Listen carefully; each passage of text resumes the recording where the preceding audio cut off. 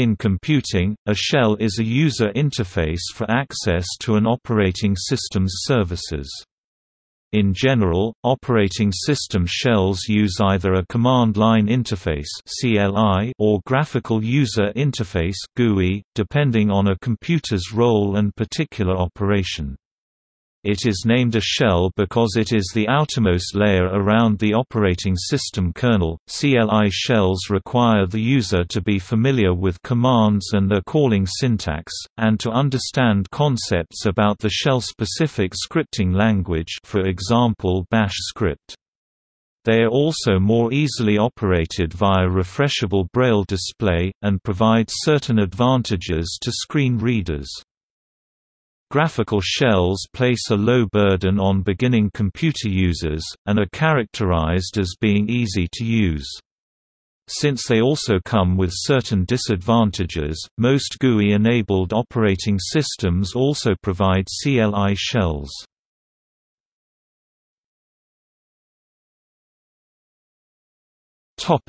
Overview Operating systems provide various services to their users, including file management, process management running and terminating applications, batch processing, and operating system monitoring and configuration. Most operating system shells are not direct interfaces to the underlying kernel, even if a shell communicates with the user via peripheral devices attached to the computer directly. Shells are actually special applications that use the kernel API in just the same way as it is used by other application programs. A shell manages the user-system interaction by prompting users for input, interpreting their input, and then handling an output from the underlying operating system much like a read eval print loop, REPL. Since the operating system shell is actually an application, it may easily be replaced with another similar application, for most operating systems. In addition to shells running on local systems, there are different ways to make remote systems available to local users. Such approaches are usually referred to as remote access or remote administration initially available on multi-user mainframes, which provided text-based UIs for each active user simultaneously by means of a text terminal connected to the mainframe via serial line or modem. Remote access has extended to Unix-like systems and Microsoft Windows. On Unix-like systems, Secure Shell Protocol is usually used for text-based shells, while SSH tunneling can be used for X-Window system-based graphical user interfaces GUIs. On Microsoft Windows, Remote Desktop Protocol can be used to provide GUI remote access, and since Windows Vista, PowerShell Remote can be used for text-based remote access via WMI, RPC, and WS management. Most operating system shells fall into one of two categories, command line and graphical. Command line shells provide a command line interface (CLI) to the operating system, while graphical shells provide a graphical user interface (GUI). Other possibilities, although not so common, include voice user interface and various implementations of a text-based user interface (TUI) that are not CLI. The relative merits of CLI and GUI-based shells are often debated.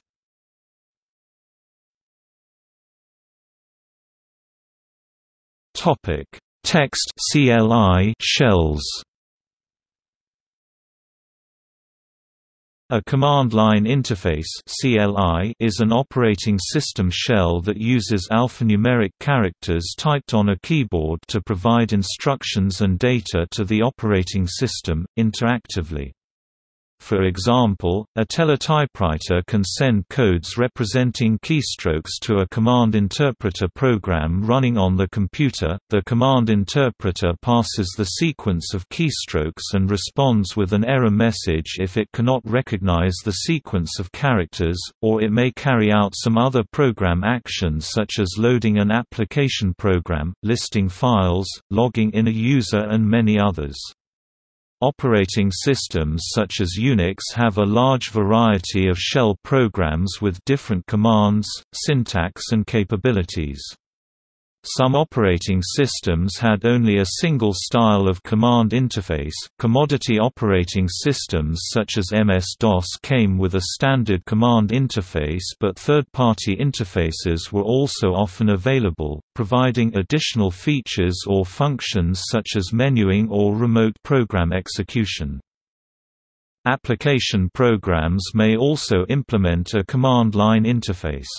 For example, in Unix-like systems, the Telnet program has a number of commands for controlling a link to a remote computer system.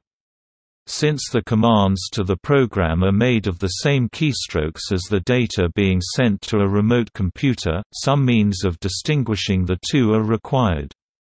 An escape sequence can be defined, using either a special local keystroke that is never passed on but always interpreted by the local system.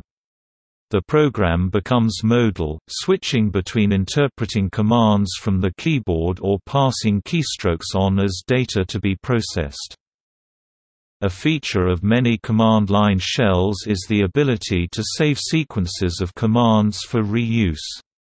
A data file can contain sequences of commands which the CLI can be made to follow as if typed in by a user. Special features in the CLI may apply when it is carrying out these stored instructions. Such batch files, script files can be used repeatedly to automate routine operations such as initializing a set of programs when a system is restarted. Batch mode use of shells usually involves structures, conditionals, variables, and other elements of programming languages. Some have the bare essentials needed for such a purpose, others are very sophisticated programming languages in and of themselves. Conversely, some programming languages can be used interactively from an operating system shell or in a purpose-built program. The command line shell may offer features such as command line completion, where the interpreter expands commands based on a few characters input by the user. A command line interpreter may offer a history function, so that the user can recall earlier commands issued to the system and repeat them, possibly with some editing. Since all commands to the operating system had to be typed by the user, short command names and compact systems for representing program options were common. Short names were sometimes hard for a user to recall, and early systems lacked the storage resources to provide a detailed online user instruction guide.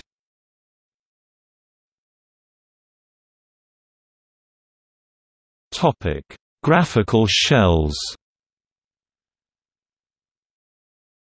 Graphical shells provide means for manipulating programs based on Graphical User Interface GUI, by allowing for operations such as opening, closing, moving and resizing windows, as well as switching focus between windows.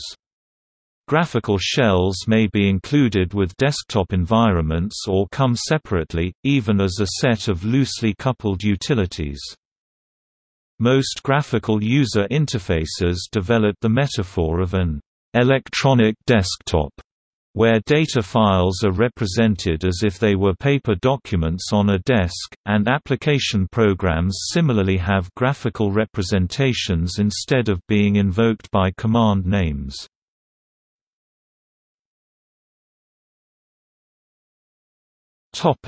Unix-like systems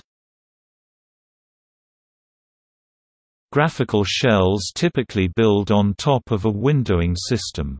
In the case of X-Window System or Wayland, the shell consists of an X-Window Manager or a Wayland Compositor, respectively, as well as of one or multiple programs providing the functionality to start installed applications, to manage open windows and virtual desktops, and often to support a widget engine. In the case of MacOS, Quartz could be thought of as the windowing system, and the shell consists of the Finder, the dock, SystemUIServer, and mission control.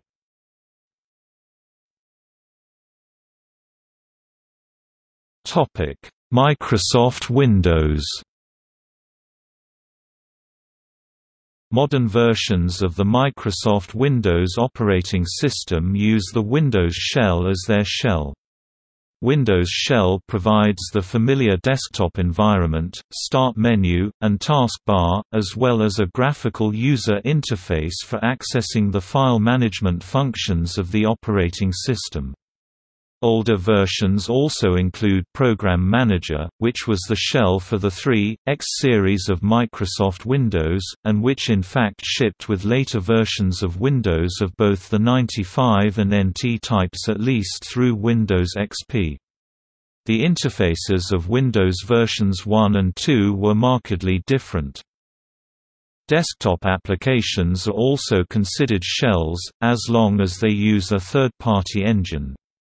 Likewise, many individuals and developers dissatisfied with the interface of Windows Explorer have developed software that either alters the functioning and appearance of the shell or replaces it entirely. Windowblinds by Stardock is a good example of the former sort of application.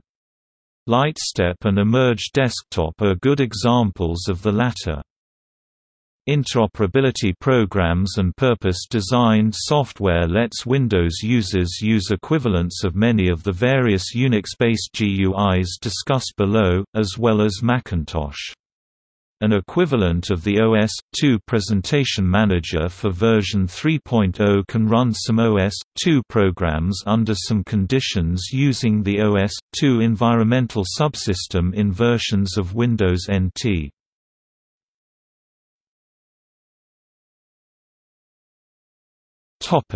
Other uses Shell is also used loosely to describe application software that is built around a particular component, such as web browsers and email clients, in analogy to the shells found in nature. These are also sometimes referred to as wrappers. In expert systems, a shell is a piece of software that is an empty expert system without the knowledge base for any particular application. See also